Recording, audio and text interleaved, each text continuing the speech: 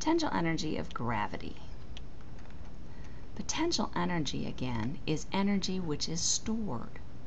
And in particular, we're looking at when it's stored such that a mechanical force is ready to do some work.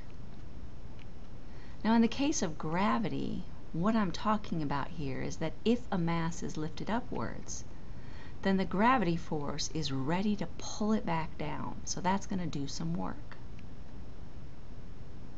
If I take a look at that work, what I see is that the potential energy stored is equal to the outside mechanical work needed to prepare the system.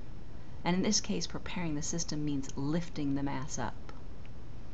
So for gravity, that external work needed to lift an mass up is going to be given by mgy. And that means the potential energy is going to be an mgy.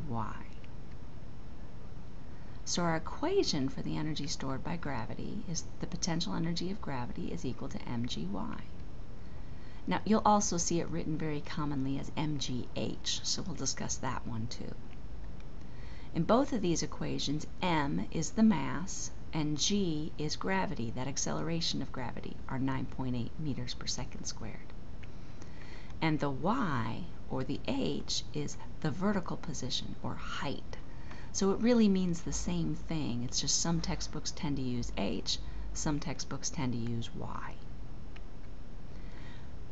Gravity, in terms of the energy, it could be expressed not just as Pe sub g, but E of gravity, so that'd be the energy of gravity.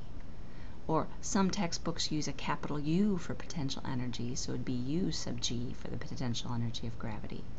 And some textbooks don't even differentiate between what type of potential energy you have, so they'll just use a capital U for the potential energy of gravity or any other potential energy. Let's look at a quick example here. If I've got a 50 kilogram object and it's lifted 3 meters up in the air, what's my potential energy? Well, if I go back to my equation here, what I see is that my 50 kilograms gets plugged in for m, my 3 meters gets plugged in for y, and g is a value that's a constant, so we know that on Earth it's 9.8 meters per second squared. So plugging all three of those values in, what I'd get is 1,470 joules. Now quick note on the units here, if I've got kilograms times meters per second squared times meters, well that's going to give me kilogram meters squared per second squared.